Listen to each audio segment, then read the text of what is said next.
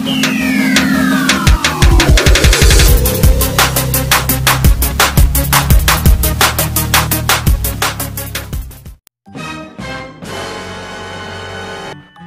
guys! Welcome back to my channel. So, ang gagawin natin today is punta tayo ng pag-ibig kasi pupunta kami ng pag-ibig para ano ba ito, magpasa ng ano, yung sa loan niyan kasi magla-loan kami ngayon. So, ay, nakarang pa kami pumuntang sa agency niya para magpapirma. Ngayon pupunta ulit kami para kung yung pinapirmahan namin. Tapos dar-diretso kami ng pag-ibig. So,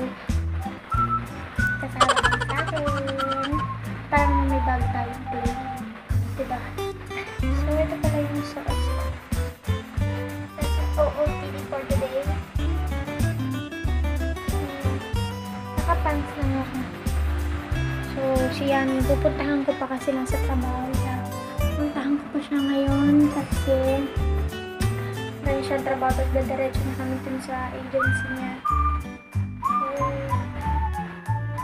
so guys, don't forget to subscribe and like this video and click the notification bell para matipid kayo yung mga bago kong upload ha. So, tara na! Susundin na natin siya kasi alas dos na hanggang 3 lang yung agency nila. Eh, yung agency nila sa Quezon City, nasa Malabon po kami. So, tara na, tara na. Simulan na natin. Taba ako.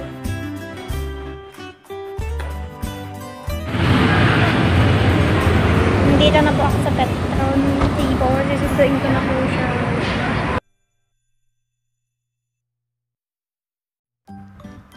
Dito po siya nagtatrabaho sa Petron C4.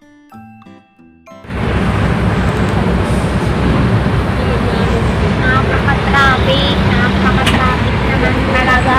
Nakakagigil. Sobrang traffic.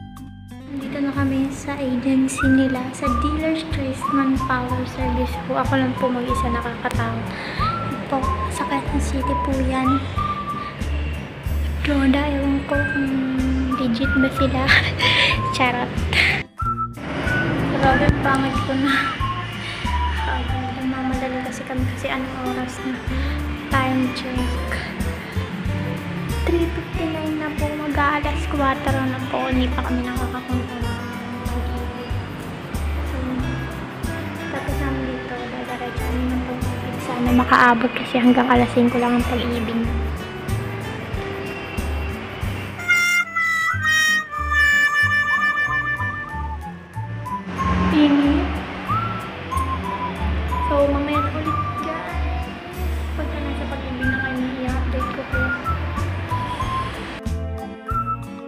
Mukhang matatagalan pa tayo bago tayo makapunta ng pag-ibig eh, anong oras na. So, hindi talaga tayo makakadiretso dun. Kahit anong gawin natin kasi hindi natin hawak ang oras. Magsasarado na rin yun ng 5 anong oras na po.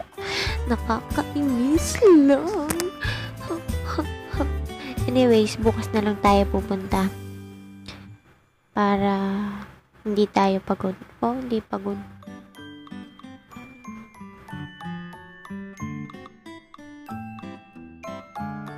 Guys, nakauwi na ulit ako. Kaso hindi kami nakapunta ng ano, ng pag-ibig kasi Anong oras na kami nakaalis? Umabot kami sa agency ng mga... Anong oras tayo nakapunta ng agency ni? Mga 4 na kami doon.